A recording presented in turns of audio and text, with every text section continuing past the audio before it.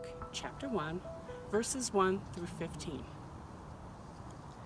The beginning of the good news of Jesus Christ, the Son of God, as it is written in the prophet Isaiah. See, I am sending my messenger ahead of you, who will prepare your way, the voice of one crying out in the wilderness. Prepare the way of the Lord, make his path straight.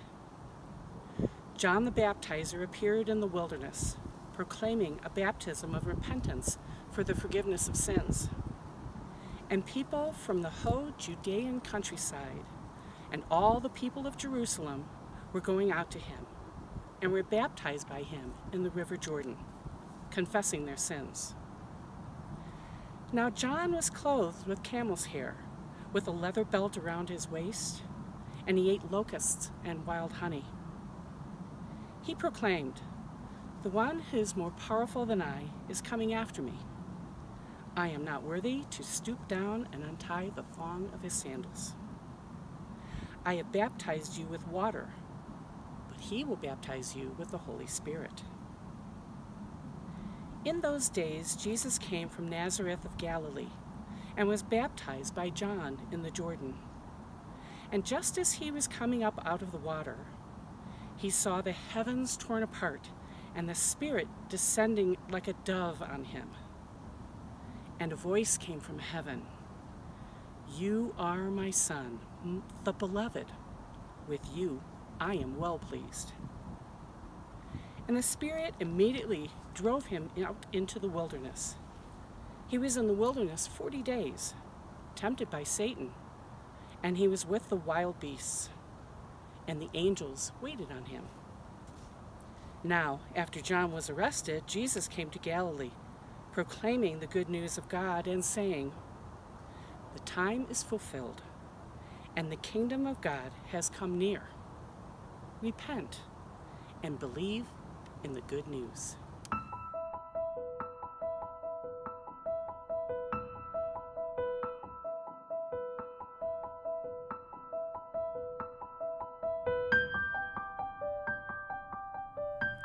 Well, good morning, everyone. I hope that you all had a great Thanksgiving, and I hope that you were reminded of everything you are grateful for. And I hope you ate lots of ham and pie. yes, I did say ham. Colleen and I actually prefer ham over turkey, so you can bet that that's what we had. And now that Thanksgiving is over, we can officially, officially begin our Advent Christmas season.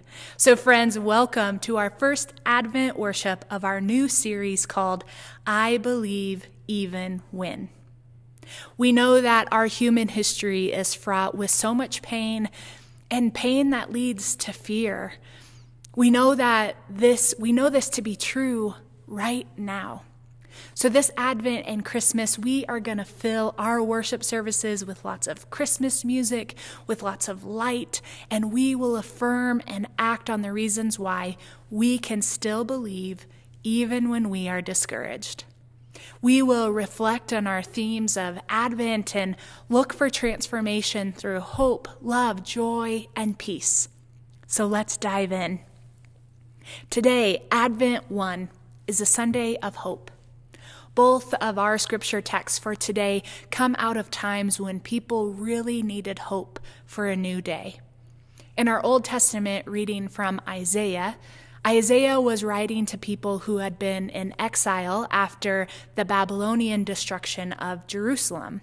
And chapter 40 begins the second part of Isaiah, which has a more comforting and hope filled message than the first 39 chapters of the book. Isaiah 41 through 11 was joyful and hopeful because there was an unexpected reversal of these people's fortunes. The people in ancient Near East were allowed to return and live in their native lands as long as they remained loyal to the Persian government. And so this scripture starts with a very unexpected message.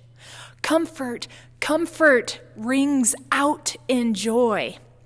They are coming out of exile and get to start a pilgrimage home.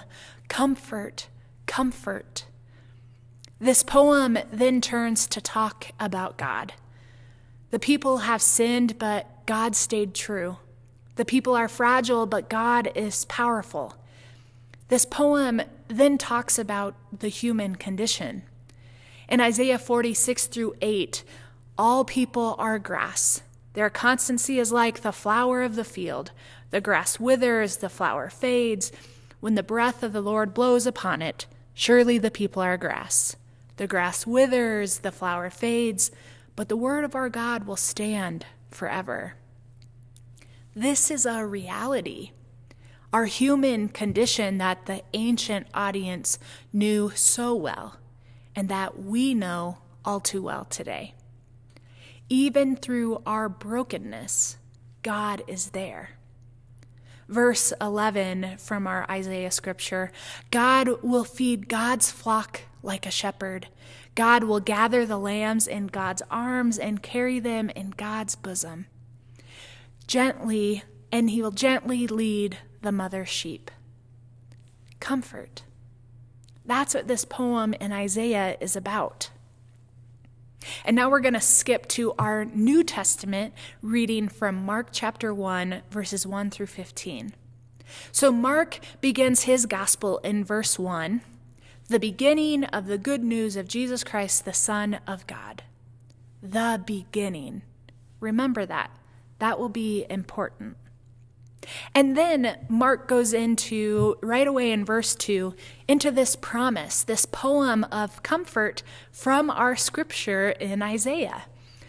Mark's gospel of Jesus' ministry, the beginning of the good news, begins with our Old Testament scripture from Isaiah. It's the promise of Isaiah to the desperate Israel at one of their lowest points of history. Mark starts his gospel out in this way, quoting Isaiah because he is portraying to the readers that this promise from Isaiah of comfort, deliverance, and renewal is being carried out in Jesus' ministry. This promise is being carried out in Jesus' ministry, the beginning of the good news. Promises. Promises are not something that are inactive or static. Promises are typically something that you believe. They create an expectation about the future. They put things into motion. Let's think about promises for a second. You promise your spouse, your partner, that uh, you're going to make dinner tonight. You most likely make that dinner. A friend promises you a ride home after the concert. Well, you don't make other arrangements because why should you? You have a promise of a ride. A dad promises their kids that they will play a game after dinner. That game board is unsurprisingly set on the table when the dishes are cleared.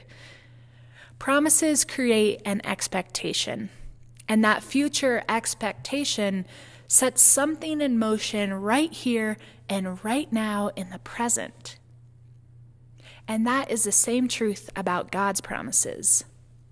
David Lose from his blog called In the Meantime so beautifully says, and that perhaps is the key message of Advent. That in the stable at Bethlehem, God is not only keeping promises God made to Israel, but also making promises to us. That in Jesus, God hears our cries of fear and concern and doubt at our lowest points and responds. And well, let's be honest. There has been a lot of low points for all of us this year. We have experienced this year differently, but there is no doubt that we have all had some of our lowest points in this year. And honestly, it might be pretty hard for some of you to believe or even hear that God keeps God's promises and that God responds to those promises through healing and peace and justice. Well, the Gospel of Mark has some things to say about this. Remember a few moments ago when I told you how Mark starts his Gospel in verse 1? The beginning of the good news.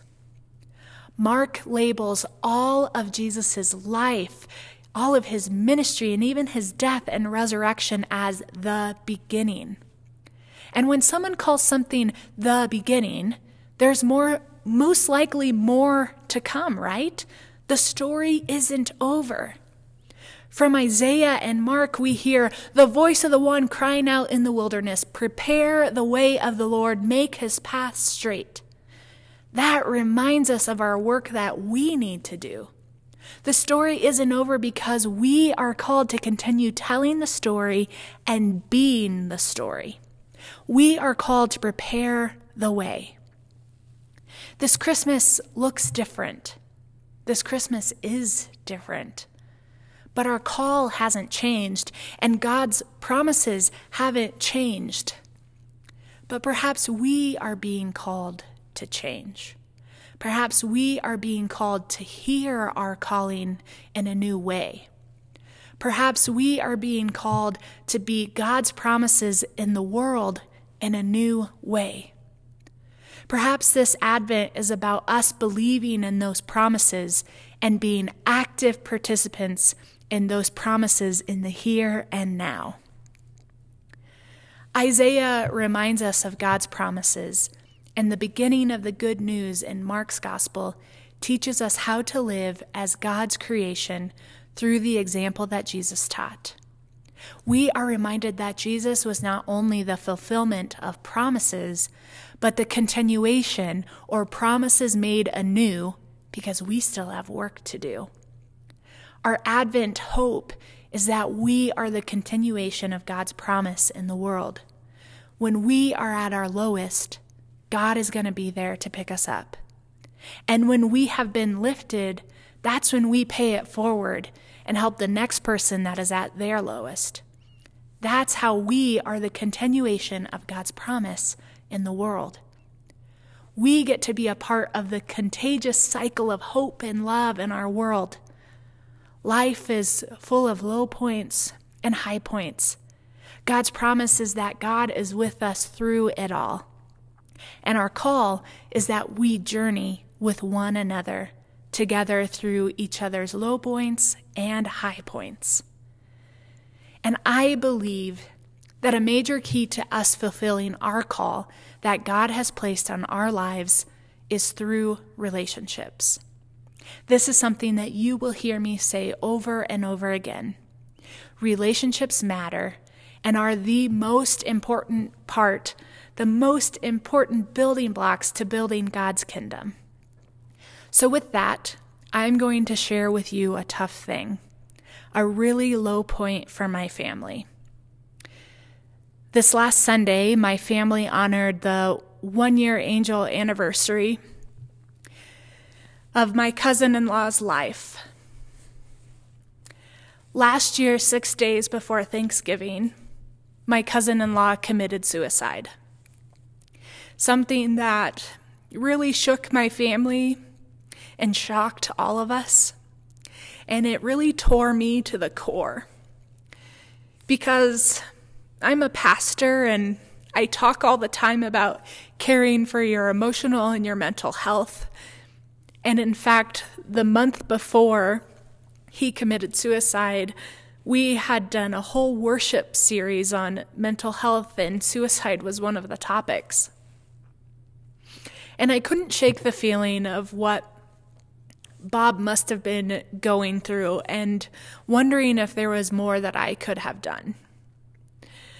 I prayed with my cousin and her daughter just hours after they found out about Bob's death. Undeniably, the toughest prayer I have ever had to pray. And then a week later, I officiated Bob's ceremony of life undoubtedly the hardest funeral I have ever done. And then a year later, this last Sunday, I prayed again for and with my cousin and her daughter. But it was a little bit easier. And we cheered uh, Coors Originals to Bob's memory from our own home and sent each other pictures. And it made it a little more manageable. God was walking with me, walking with all of us during this terrible time in our lives. And God began to heal. And God continues to heal us. And so I tell you this story because relationships matter. For you and I to have a relationship as your pastor, you need to know me and know some of my lowest and highest points of my life, just as I need to know yours. Relationships matter to the calling that God has given us on our journeys. God will be with us through it all. And God being with us is most visibly and actively present through our relationships with one another. So, for us to be the continuation of God's promises that are written through Isaiah and Jesus' beginning of the good news written through the Gospel of Mark, we got to show up for one another. And we need each other now more than ever. We need each other to remind one another of the hope that resides in the Christmas story, the hope that is the continuation of the story the hope that God is with us and will continue to be with us, even as we wait to celebrate the birth of that hope realized. Amen.